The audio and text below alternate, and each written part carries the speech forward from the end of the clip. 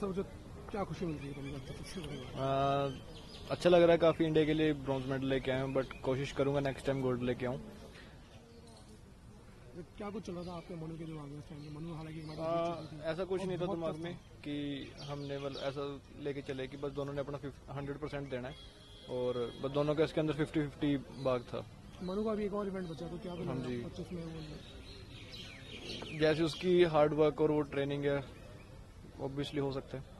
अच्छा टॉप्स का कितना बड़ा रोल रहा है इसके अंदर? आप टॉप्स का सबसे ज़्यादा ही रोल है इसके अंदर। उन्होंने हमें ओलंपिक कैंप के लिए लग्जमबर्ग में ट्रेनिंग कैंप रखा और उसके बाद फिर म्यूनिक वर्ल्ड कप जो हुआ हमारा रिसेंटली उसके बाद सीधा हम वहाँ पे फ्रांस गए ट्रेनिंग करने के लिए। तो मतलब काफ़ी ज़्यादा रोल है टॉप्स का खेलो इंडिया का और जो एनआरआई हमारी फेडरेशन शूटिंग फेडरेशन उनका बहुत ज़्यादा रोल है इस इस चीज़ में।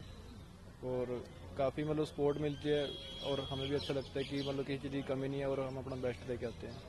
तो कुछ कमियाँ आई क्या वहाँ पे? क्या कुछ जाननी कैसे क्योंकि कुछ पेरेंट्स में कुछ कमियाँ आ रही थी कुछ मुश्किलों का सामना करना पड़ा आपको। नहीं मुश्किलें कुछ नहीं थी और अच्छा था मतलब सारा कुछ जैसा हमने चाहा वैसे ही था।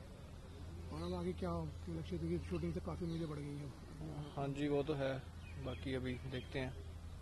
और क्या कुछ कहना चाहेंगे आप बाकी बच्चों के लिए जो आपको देगा शूटिंग है शूटिंग के जो खास करके जो नौजवान मैं बस बच्चों को यही बोलूँगा कि गिव योर बेस्ट और सबसे ज़्यादा बड़ी बात ये है कि माइंडसेट बहुत ज़्यादा इंपॉर्टेंट होता है हर एक एथलीट के लिए। Thank you for your support thank you so much